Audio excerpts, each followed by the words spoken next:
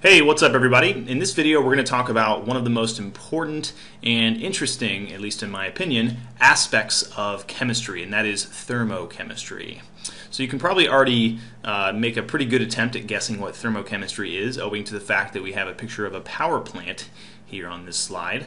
Uh, but let's actually go into the scientific definition of thermochemistry and see how far that takes us. So according to my chemistry textbook, the definition of thermochemistry is the study of the relationships between chemistry and energy. Okay, so now we're getting somewhere. So Chemical reactions, uh, some of them release energy, uh, some of them require energy, some of them release a lot of energy, some of them release a little bit of energy. Some chemical reactions require a lot of energy to get going, some of them don't require much energy, and so on and so forth. So we're starting to get the idea of what thermochemistry is, but in order to understand this, we need to be able to define the word energy. Now, again, to define the word energy, I just kind of took another look in my chemistry textbook and I found uh, that energy is the capacity to do work. So it's kind of this cat and mouse game we're playing, where each new definition that we look at begs a question about the definition of another word. So with thermochemistry, you know, now we have to define energy, and then with energy, the capacity to do work. Well, what the heck is work? So now we got to define work. And uh, according to my chemistry text, uh, once again, uh, the definition of work is the result of a force acting through a distance. So again, energy. If something has energy, that means it has the capacity to exert a force on another object and move it through some distance. Okay, so now that we uh, have just been inundated with vocabulary, it seems only fitting that we introduce a little bit more vocabulary, right? And so uh, we're going to talk about some types of energy. The first type of energy that we're going to talk about is called potential energy. And the potential energy that an object has is associated with the object's position.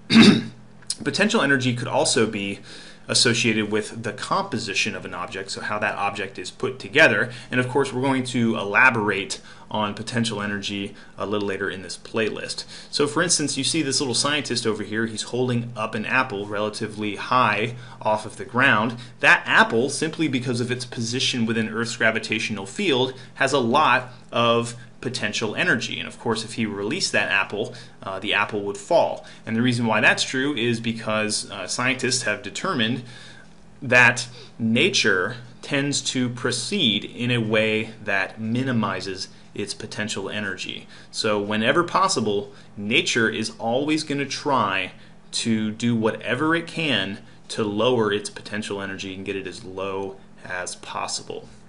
The second type of energy that we're going to discuss is called kinetic energy, and the kinetic energy of an object is associated with its motion. So something that is in motion has kinetic energy, something that is at rest has no kinetic energy. And finally, the third type of energy that we're going to talk about in this video, there are more types of energy, but for now we can just limit our discussion to three. The third type is called thermal energy. So here's a nice uh, photograph of the sun that I found. And as you've probably already figured out, thermal energy is associated with an object's temperature. And thermal energy is actually a type of kinetic energy because thermal energy originates from motion, just as regular old kinetic energy, kinetic energy does. Thermal energy originates from the motion of particles. So you have atoms and molecules moving around. Uh, you may have some subatomic particles moving around really fast. All of those atomic, molecular, subatomic particle motions uh, are what uh, are the origin of thermal energy. So again, we have potential energy that's due to position or composition, uh, kinetic energy that's due to motion, and then we have thermal energy which is associated with temperature. And remember, thermal energy is a type of kinetic energy.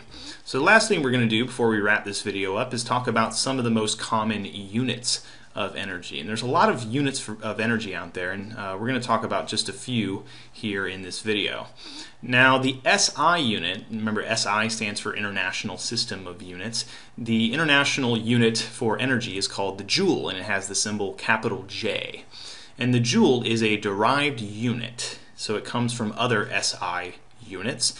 And the definition of the joule is 1 kilogram times square meters divided by square seconds. Okay, now the joule is not a very large unit of energy. There's really not a lot of energy in a joule. And so oftentimes you're going to see energies reported in kilojoules, where of course one kilojoule is equal to 1,000 joules. Now another common unit of energy is the calorie, which I'm sure you are familiar with, and that has the symbol lowercase cal. And the definition of the calorie is the amount of energy that's required to raise the temperature of one gram of water by one degree Celsius. And if you wanted to convert between calories and joules, you could use this relationship over here, where we have one calorie is equal to 4.184 joules. So we can see uh, in this relationship that the calorie is a larger unit of energy than the joule because there's more than one joule in one calorie. Closely related to the calorie is the nutritional calorie, and the only thing different about the nutritional calorie, at least if we're looking at the symbols, the only thing uh, that differentiates the symbols of regular old calories and nutritional calories is that in a nutritional calorie, the C is capitalized, so it's capital C A L. And there are 1,000 little c calories in a big C nutritional calorie. And so when you look at the nutrition facts uh, on the back of your milk or your donuts or whatever, uh, what you're reading, uh, and it talks about all the different calories and you know calories from fat, total calories per serving, all that stuff. Uh, those calories are the nutritional calories, the big C calories. So if you take those calories and multiply them by a thousand, that's how many little c calories you have uh, in one serving of whatever you happen to be eating. Now the last unit of energy that we're going to talk about before we uh, are all done here is called the kilowatt hour or kWh.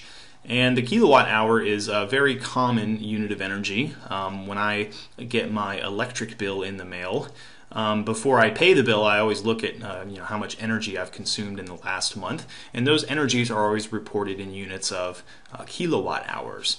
And if we wanted to convert between joules and kilowatt hours, we could use this relationship down here, where we have one kilowatt hour is equal to 3.6 times 10 to the 6 joules. So almost 4 million joules are just in a single kilowatt hour. So the kilowatt hour is a relatively large amount of energy and uh, you know we all, at least here in the states, uh, a lot of us uh, tend to consume a lot of energy in our homes.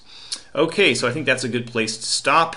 I hope you uh, found this video at least somewhat helpful, and I will see you in the next video. So take it easy.